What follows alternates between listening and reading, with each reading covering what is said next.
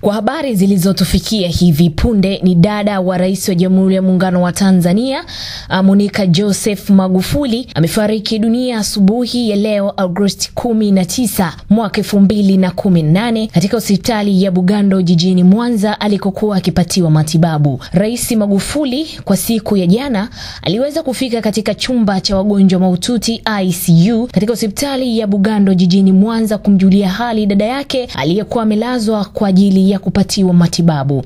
Basi uh, tunaweza kusema tu Bwana ametoa na Bwana ametoa, jina lake lihimidiwe. Amen.